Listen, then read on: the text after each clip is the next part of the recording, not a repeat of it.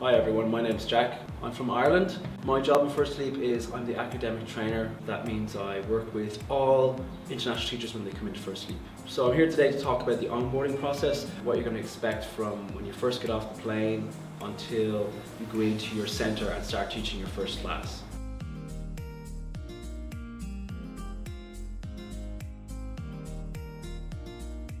When you first arrive into China and you're in the airport, you get off the plane, Career China is actually going to pick you up at the airport. I'm Keanu Javert, all the way from Johannesburg, South Africa. One of our workers at First Leap Peter.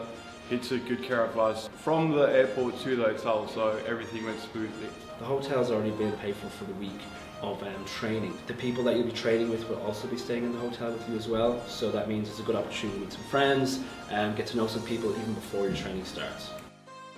Hi, I'm Kylie. I'm 24 years old. I'm so excited to go meet all my coworkers. I've already been talking with them on WeChat. Your first day of training will be in HQ, which is actually the building I'm in right now. You'll do your first day orientation in here. You'll also be doing some kind of team activities um, so everyone get to know each other. When you first come in the doors here and you're sitting down in this room, you'll be given a pack, but you'll also get a couple of handbooks. We have a First Leap guide, which kind of gives you all the information about First Leap, things about China, such as subway cards, bank cards, phone, these things, necessary things you need when you're setting up your life in a new country.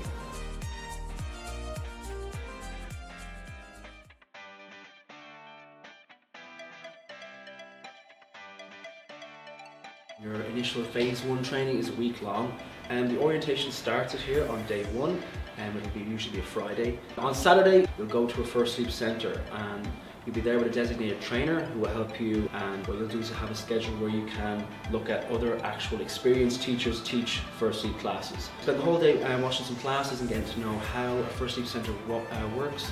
Regardless if you have previous experience or not, it doesn't matter. First Leap will teach you how to teach a First Leap curriculum. After the week's training, you'll be fully prepared to go in and teach a class. The training itself has a lot of content in it, but isn't too high, high intensity. It's quite fun, it's quite interactive. We don't have you sitting there, we have you actually giving things a go, having a practice, teaching things. I think training has been really helpful. I feel way more prepared for teaching because I've never taught before. My training's been good, I've enjoyed it, I've met lovely new people and uh, I've definitely learnt a lot. We get to do one-on-one. -on -one. They make sure we know the material before we go on to the next slide. They also make sure that we work together as a team. The food is great, the culture is great, my new friends are great, and my school is great. Is it a spider? No! After you finish training, if you're staying in Beijing, you'll find your designated center here and you'll be going straight to that. If you're going outside of Beijing, you'll be issued a train ticket which is already paid for. Regardless of where you go to in China to teach, um, you'll always have support, be it um, your centre director, your academic director, every centre has one. This means that you'll never be by yourself, there'll always be someone to contact. When you're living in China, one thing you won't be able to live without is, first it's called WeChat, which is basically the WhatsApp or the messenger of China, so make sure you download that. So don't be afraid to ask Career China or First Leap, and um, there's always here someone to answer questions so ask away.